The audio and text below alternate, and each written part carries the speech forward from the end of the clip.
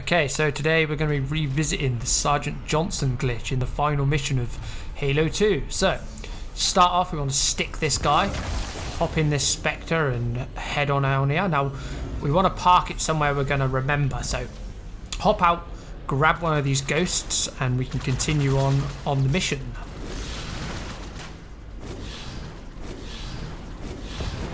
Head on off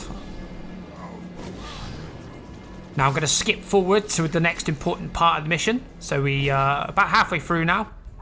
We come to this platform. We want to kill all these uh, brutes. And we'll get a cutscene coming up in a moment. So we want to wait till that clears. Now this is important, otherwise all the wraiths will spawn. So as soon as you get this cutscene here, we need to head back towards the uh, the way we came and we need to keep going into the I think the the first room which is uh, when we'll get Sergeant Johnson make some uh, little statement here. So we come back through here. And we need to wait for that that uh, that dialogue from Sergeant Johnson. And that will spawn in our our banshees and also despawn in the wraiths. So we uh, obviously hop in our banshee here fly on down to where we parked the Spectre uh, at the beginning of the mission. So we see on the floor that the Wraiths are, are despawned, otherwise they would be shooting at us. So we come down here and we parked our Spectre just around the corner here. So we jump out the Banshee, hop in our Spectre, and this is where we begin the start of the glitch anyway. So jump on down over this ledge here, holding A so you don't damage the vehicle.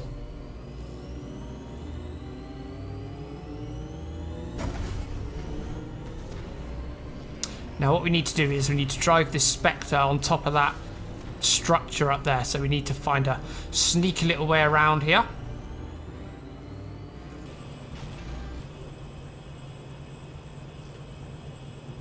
we just go under the water here. You shouldn't, there's no need to worry about dying or anything.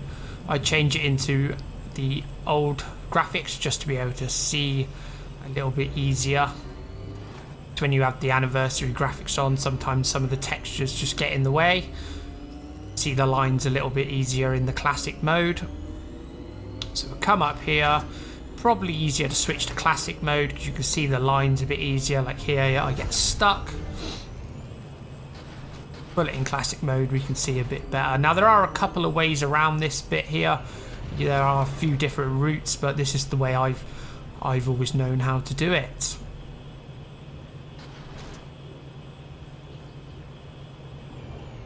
So up here we head down this little ledge, being careful not to, to roll it or flip it, otherwise it's game over, we have to start again. So aim for this little corner here, and you have to sort of hold A to lift the front up and wiggle the Spectre around. It takes a a minute to get it in the right position. You sort of force it up here. As soon as you get the front up, that's fine. So we need to jump as well onto this ledge here. There we go. Come along. Now we're going to be dropping down here and uh, you need to try and keep the Spectre in a certain position. So hold A, keep the front up Otherwise, you may hit a, a fall zone where you where you die. But if you land on the bottom, that should be fine. And then again, jumping across, we want to hold A, lift the front end of the Spectre up so we land on the platform. Just in time for Johnson uh, in the... Uh, just in time for Johnson in the Scarab. So now we just need to wait here. We'll have Johnson start his dialogue in a moment.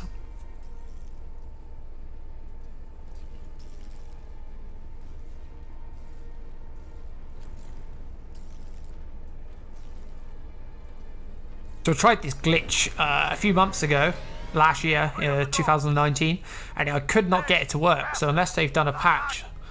Okay, so Johnson's talking. And obviously we hear the Scarab now blasting its way into the structure. Now, you'll get some text come up at the bottom. And you've got to time it right. So We'll see in a moment. We'll get the text in the bottom, and that's kind of like my cue to jump out of the vehicle. here we go. We've got the text coming up. Jump out the vehicle. Now I'm looking at the vehicle, and as I jump off, we want the Spectre to be falling over the edge. And if we turn round, here we are. We have the Spectre parked nicely for me. Now you might notice the time in the bottom right is a big difference. That's because I was messing around with uh, trying to get this uh, glitch the first couple of tries. I was uh, kept jumping over there, and Johnson was. Uh, uh, I kept dying, so I was trying to record obviously all the Johnsons. So. so we get Johnson on the Spectre just by driving over at him, jump out the way, and then you'll get on the back here. These are pesky elites so trying to get in the vehicle, which we don't want because we want those seats reserved. There we go, another Johnson spawn alert. So get him in our passenger seat. Now we got to kick our elite out here because he's got in the way. Uh, there we go. We got the third Johnson spawn in. Now I forgot to have a grenade here, but you really want to have a sticky grenade because when we jump over now, we have the other three Johnsons on the, the Spectre, and ideally we'd want to chuck a sticky grenade onto onto it to blow it up and get them off. So right over here, I just grab two of these uh, plasma pistol, the plasma rifles, and then we see we've got the Johnsons unloading into Tartarus.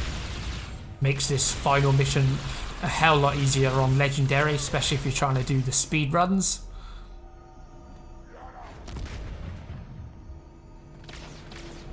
I tried this glitch last year and I couldn't get it to work, but they might have done a patch to allow it again. See our Johnsons, we see how quick he gets killed on Legendary. Blasted in there with their beam rifles.